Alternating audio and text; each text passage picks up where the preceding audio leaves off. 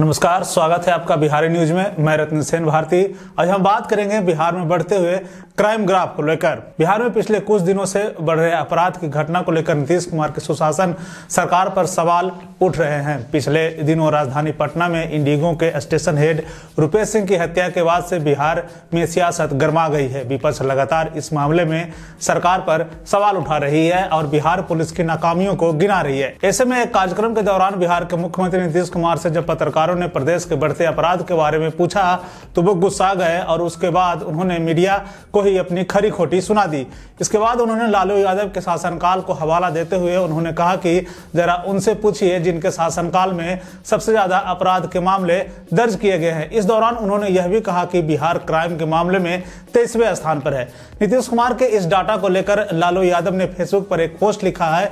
उस पोस्ट में उन्होंने लिखा है कि ठोको ताली बजाओ गाल। बिहार में राजद सरकार के आखिरी साल यानी कि 2004 में अपराध के कुल एक लाख पंद्रह हज़ार दो सौ सोलह मामले दर्ज हुए थे, जबकि नीतीश कुमार की सरकार में 15 साल बाद यानी कि साल 2019 में कुल अपराध के आंकड़े बढ़कर दो लाख उनहत्तर हज़ार छियानवे हो गए हैं। यानी कि दुगने से भी ज़्यादा। उन्होंने आगे लिखा है कि गजब बात है। ये है कि हमारे सामाजिक बदलाव के दौर को नकारे लोग जंगल राज कहते हैं।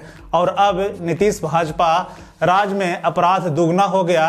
तो सुशासन राज कहते हैं। इस पोस्ट के नीचे में आज तक न्यूज़ चैनल का एक लिंक दिया गया है, जिसमें लिखा है कि नीतीश कुमार हर बार ये दावा करते हैं कि लालू राबड़ी के शासनकाल के मुकाबले उनकी सरकार में अपराध कम हुए हैं। हालाँकि नीतीश कुमार के दावे के इतर बिहार पुलिस के आंकड़े कुछ और ही कह रहे हैं। बिहार पुलिस के आधिकारिक वेबसाइट पर 2004 यानी कि लालू यादव के शासनकाल को लेकर से लेकर 2019 यानी कि नीतीश कुमार के काल तक के आपराधिक आंकड़े मौजूद हैं। इन आंकड़ों को मानो तो बिहार में लालू यादव की सरकार के आखिरी साल यानी कि 2004 में अपराध के कुल मामले एक लाख पंद्रह हज़ार दो सौ सोलह मामले दर्ज हुए हैं, जबकि नीतीश कुमार के काल में सरकार के पंद्रह साल के अपराध के आंकड़े घटने के बजाय लगातार बढ़े हैं और इस आंकड़ों की जो संख्या है वो दो लाख उनहत्तर हज़ार छियानवे है, जो कि पुराने आंकड़े से दुगने हैं। बिहार में भले ही अपराध बढ़ता जा रहा है, लेकिन सरकार और कानून व्यवस्था के आला अधिकारी इस पूरे मामले को कई अलग अलग रंग देते दिख रहे हैं। बिहार के पूर्व डीजीपी गुप्तेश्वर पांडे ने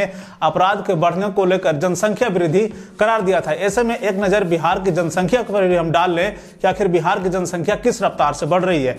दो हज़ार एक की जनगणना की माने तो आठ करोड़ अट्ठाईस लाख अठहत्तर हज़ार सात सौ छियानवे बिहार की आबादी थी। उसके बाद अगर हम 2011 जो कि वर्तमान में जिसकी जनसंख्या चल रही है, वह दस करोड़ अड़तीस लाख चार हज़ार छह सौ सैंतीस है। ऐसे में कहा जा रहा है कि 2021 में अगर ये नई जनसंख्या हमारे सामने आती है तो वह जनसंख्या होगी 12 से 13 करोड़ तक की। इसका मतलब हुआ कि बिहार की जनसंख्या 50 प्रतिशत की रफ्तार से बढ़ रही है, जबकि प्रदेश में अपराध के आंकड़े 133 प्रतिशत की रफ्तार से आगे बढ़ रहे हैं। ऐसे में बिहार के मुख्यमंत्री द्वारा बार बार यह कहना कि बिहार में कानून व्यवस्था का राज है, इस पर सवाल या निशान खड़ा होता है। वहीं अगर हम एनसीआरबी के डाटा को देखें तो 2019 में देश भर में हुए अपराध में से पाँच दो अपराध बिहार में दर्ज किए गए। इस लिस्ट में उत्तर प्रदेश, महाराष्ट्र तमिलनाडु, केरल, गुजरात, मध्य प्रदेश, दिल्ली और राजस्थान के बाद बिहार का नंबर आता है। यानी कि नीतीश कुमार को वह दावा, जिसमें वो कहते हैं कि तेईसवें नंबर पर बिहार अपराध के मामले में है, यह झूठा साबित होता दिख रहा है।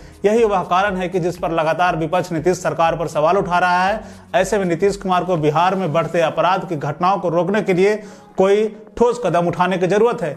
बिहार और बिहार से जुड़ी हुई और भी ऐसे ही खबरों के लिए बने रहे बिहारी न्यूज़ के साथ। मुझे दीजिए इजाज़त। धन्यवाद।